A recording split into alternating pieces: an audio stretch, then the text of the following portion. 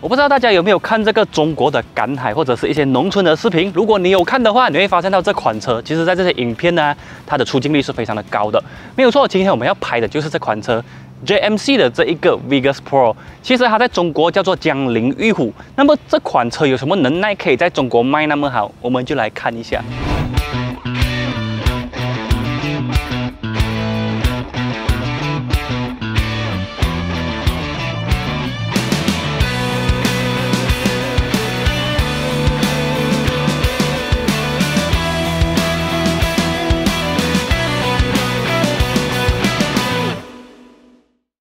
首先要先讲一下这个企业的背景，是在中国呢有两个很著名的皮卡制造商啦，一个就是我们熟悉的这个长城汽车，然后其实另外一个就是江铃。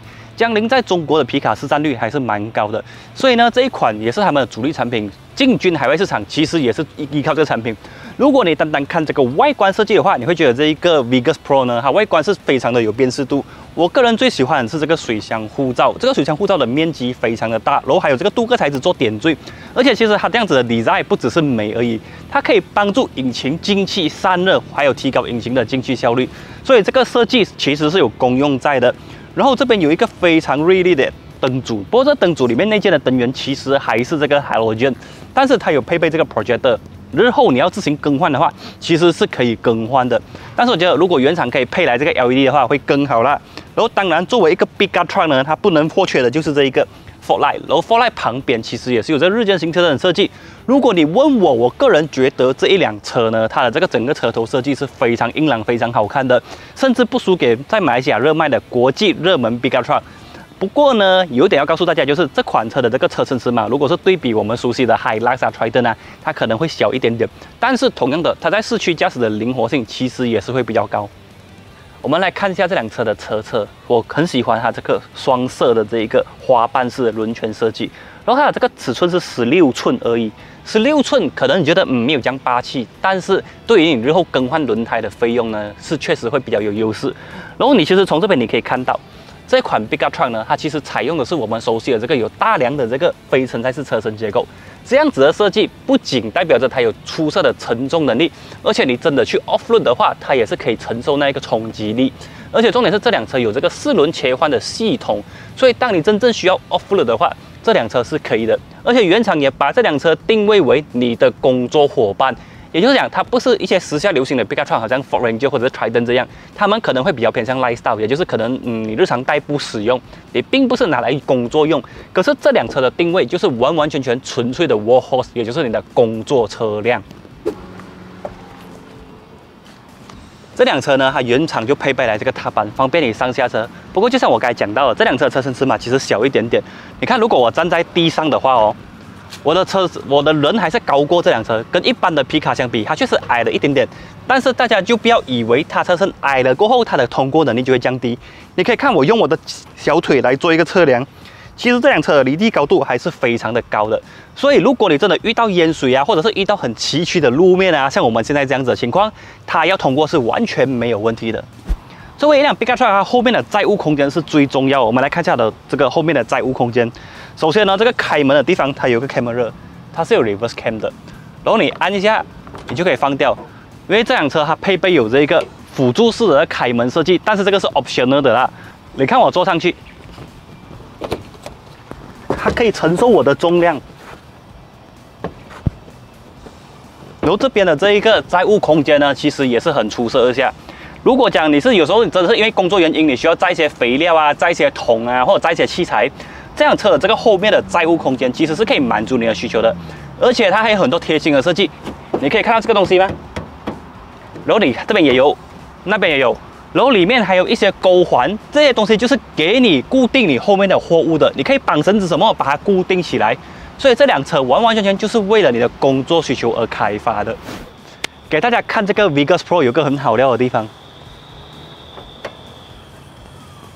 看到吗？它竟然有油压顶杆呢！这种呃，大概是十万多一点点的这个 Big Truck 有油压顶杆呢。很多它的这一个嗯竞争对手价钱比它更贵的都没有这个东西。OK 啊，然后我们再来讲它的引擎啊，其实引擎才是重点。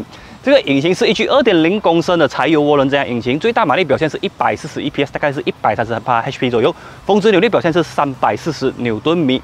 虽然讲动力不是很出色，但是基本上对于你日常载货的这种使用需求呢，其实是足够了。然后还有一点是它的这个官方油耗其实非常非常的低，官方显示只有七点八公升一百公里，以这个 Big Truck 来讲，它确实很低。它这个油耗真的很出色，重点是二点零公升的入税呢是非常的便宜的，基本上就是比这个 Isuzu D-Max 一点九贵一点点而已。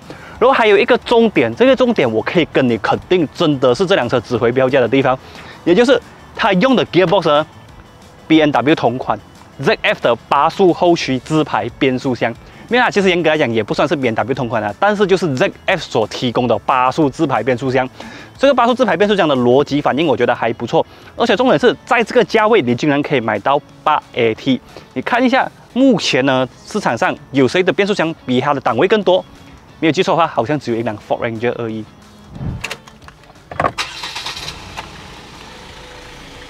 这辆车呢是没有配备这个 keyless entry 的，可能原厂是考虑到，嗯，这一个车辆的成本其实没有很高。然后另外一个重点是，他们可能考虑到少一个香炉少一只龟，所以因为这种车是工作使用的，所以他们必就没有给你这个 keyless entry。但是我觉得还是有比较好啦。OK，这个内装呢让我最惊艳的地方就是这个排挡杆。刚才我讲了这个变速箱呢是 B&W 同款变速箱呢，它的排挡杆就是 Peugeot 的同款排挡杆，这个设计真的很像。电子排挡杆，而且使用起来的逻辑呢，感受都很好。我觉得这个排挡杆是整个内装的重点，然后还有这个很高的这个手刹车，然后还有一点点的置物空间，然后中央扶手等等，基本上就是中规中矩。然后这边还配备了一个触屏主机，这个触屏主机有这一个倒车显示的功能，但是基本上就是蓝牙、唱机啊、打电话等等，没有 Android 都跟 Apple CarPlay。然后下面这边就是一些使用这个触屏主机的按键啊，然后这边还有一个 USB 插槽，可以帮你的手机充电，或者是来读这个 USB 的歌，然后功能键等等等等。下面就是冷气的控制面板，这个冷气的控制面板设计也相对的简单。其实，在国外它是有一个呃比较先进科技的版本，但是来到马来西亚市场，或许是考虑到成本的原因素，所以他们就把这取消掉了，采用的是一个比较普通的设计风格。然后再往下看，它就有这个二 H。四 H 跟四 L 的切换，也就是说这个四轮传动系统的切换，然后还有其他的功能，像是这个关掉 Side Mirror，然后有这个呃电子防滑的功能，陡坡缓降辅助，还有 Parking Sensor 的开关。所以这辆车作为一辆 Big Truck，基本上该有的功能它都是有的。但是在气囊数方面，它就只有两个啦，并没有六气囊。剩下的细节方面，这个方向盘它是这种两幅式的设计，下面没有的。握感其实还还还不错的，我还蛮喜欢这握感的。然后它还有换挡拨片，然后上面有一些快捷键啊，这边是音响的快捷键，然后这边是这个定速巡航的按键。然后这个车辆居然还配备了 Auto 的雨刷跟 Auto 大灯。然后这仪表的设计，我个人觉得还不错啦，看起来不会太朴素。虽然讲它不是这种数位化仪表，然后它的传统指针也很清晰，中间有一个单色荧幕可以显示车辆的信息。然后这边还有 Piano Black 做点缀，所以其实这辆车的设计，我觉得。呃，算不上很出色，很 impress，但是中规中矩，不过不失，及格分还是有的。然后这辆车还有一个重点让我很惊讶的是它的这个音响，开给大家听一下。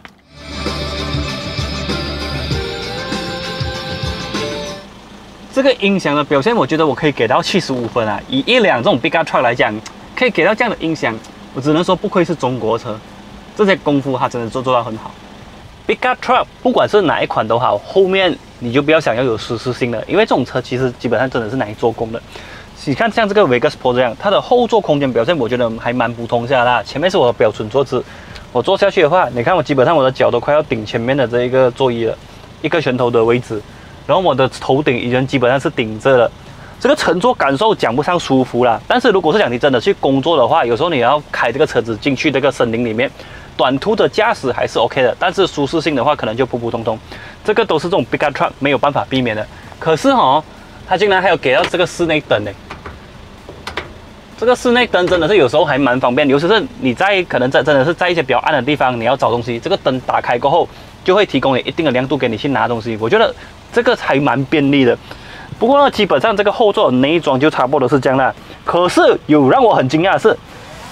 它还是配备了三个三点式的安全带，提供后座乘客的保障。OK 啦，讲了这么多，接下来我们就进入这个试驾环节。OK，现在我们就去试驾这个 Vegas Pro X。不得不说，这个电子排挡杆真的是还蛮好玩下的。这辆车的 off road 我们就不讲啊，Pickup Truck 哪里有一辆是 off road 能力不好的？我其实比较想跟大家分享一下这辆车在市区驾驶的感受，因为这辆车的市区驾驶呢，确实真的是有惊喜。当然，这辆车跟很多的 Pickup Truck 一样，它采用的是这个油压助力的方向盘，所以它的手感会比这种电子助力方向盘更好。然后加上这辆车，就像我讲的，其实这辆车车身尺码是比起这种 Hilux 啊、Triton 都比较小的，所以它开起来还蛮灵活的。你看，基本上我驾这辆车，我可以去用很 extreme，就是很极端的方式去驾它。然后它这个变速箱，大家可以感受到，它的变速箱基本上是很灵敏的换牙，因为这个 ZF 就是出了名的，它的那个换牙的速度跟逻辑是神换挡，我们都叫它神级调教。所以在这台车上面，这个变速箱的表现是不错的。OK，然后我再过一个弯，大家就可以看到这一个 Vegas Pro 的这一个底盘实力到哪里啊？当然，侧倾是一定会有的，但是这辆车基本上都可以 hold 得住。加上这个变速箱呢，你在深踩油门时候，它很快、很积极的换挡，所以可以提供你一个很好的加速表现。当然，这个很好的加速表现，你不可以拿跟 Ranger 啊，然后来跟那个 Hilux 2.8的版本中来比。如果是想对于这种一般的市区驾驶的话，它其实还蛮灵活的。只是我觉得有一个缺点，就是这个呃引擎的这个声浪是比较明显，它的以防火墙隔音比较没有那么好。所以你看，在我拉高 RPM，当 RPM 去到三千转以上的时候，你就可以听到这个引擎的声浪是比较吵一点点的。但是这个变速箱，我只可以讲 ZF 真的是 ZF，这个变速箱做的太好了。单单评论变速箱啦，就评论变速箱罢了啊。它的变速箱的换挡逻辑跟顺畅度不会输给 Hilux 2.8，甚至比起新一代 Ranger 的这个 10AT 还要好。不过我觉得，呃，这个2.0的柴油引擎可能有时候在高速行驶的时候，它的这个呃动力储备可能会稍微弱一点点。如果你只是在市区驾驶，或者是你真的是在这个森林或者是巴里面你载重物行驶的话，我相信这一个引擎的推力是没有问题的。但是如果你真的在高速公路行驶，例如讲一百一十之后呢，你会就明显 feel 到这个引擎的动力储备确实是弱一点点。然后再接下来就讲的就是这辆车的舒适程度。OK，后座因为空间比较小嘛，所以它的舒适度肯定就普普通通。但是在前座的话，我觉得还是行的。最起码这辆车我在走这种不平路面的时候，或者是过减速带，或者是过这个泵的时候，基本上都不会觉得它有很明显的弹跳，舒适度我觉得是可以接受的范围。这个是也是我的 surprise 之一啦，因为一向来我对于 big up truck 的这个印象，包括 Navara，包括 Triton，包括 D Max 等等的 big up truck，我都觉得你在市区驾驶怎样，它还是有点明显的弹跳。但是这个我觉得还 OK。来，我们问一下后座的摄影小哥，你觉得这个？舒适度怎样？还可以吗？说话还蛮舒服，有点 surprise 是不是？对对对。Big Truck 竟然可以有这样子的候选的调令，但是还是必须承认啊，后座的空间表现确实是小了一点点。但是基本上这台车市区驾驶开起来真的是没有什么太大的压力，灵活，然后呃舒适度还好，然后重点是这个油门跟这个引擎的调教呢都是比较轻盈，比较适合市区驾驶。然后重点是这辆车的驾驶感受，我觉得嗯它的 handling 还是可以不错的，这一点有一点小小的 surprise 啦。当然我讲的这个 surprise 是在这个价位下，你可以考虑你可以拿到的东西。你真的要去跟这个呃 Ranger 的顶级版、Triton 的顶级版或者是 Hilux 的顶级版相比的话，我觉得它就真的是会有一定的差距。可是考虑一下，这个价钱最少差了一个四万块到五万块左右。拿到这样子的表现，你可以不可以接受？给我的话，我是可以。所以一切都是看你的预算来做事。如果你今天觉得你的预算到了这个程度，你可以拿到更好的 option，当然你可以 go for 更好的 option。但是如果今天你的预算就在这边的话，这个 Vigus Pro 整体的表现，我觉得都是可以接受的。尤其是真的，它的弯道真的有让我有蛮大的 surprise 啊。所以其实我也不明白为什么会有人讲这辆车很烂。你要讲它是天下无敌，它当然不是天下无敌。但是你要讲到它烂，完全都不至于。